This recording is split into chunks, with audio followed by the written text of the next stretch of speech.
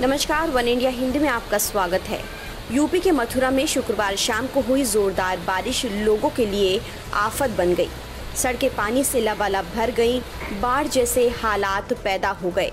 पानी का बहाव इतना तेज था कि कई वाहन बहते हुए यमुना नदी में पहुँच गए। इनमें से एक कार दरोगा की भी थी। स्थानीय लोगों ने सूझबूझ दिखाते हुए दरोगा को गाड़ी से बाहर निकाल लिया और हादसा होने से बचा लिया।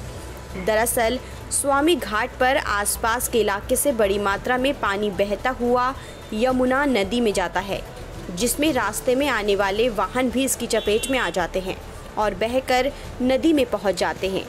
इसलिए यहाँ पर लोहे की जाली से अवरोधक लगाया हुआ है। लेकिन शुक्रवार को यहाँ किसी कारण से अवरोधक के रूप में लोहे की जाली हटा दी गई। शाम को बारिश शुरू हुई तो कुछ ही देर में स्वामी घाट पर तेज़ी से पानी का बहाव चौक बाज़ार की ओर से आना शुरू हो गया। इसी दौरान वहाँ खड़ी दो स्कूटी पानी के बाहों में बहकर यमुना में चली गई, जिसमें कई वाहन बहने लगे। हालाँकि स्थानीय लोगों ने वाहनों को यमुना में जाने से बचा लिया।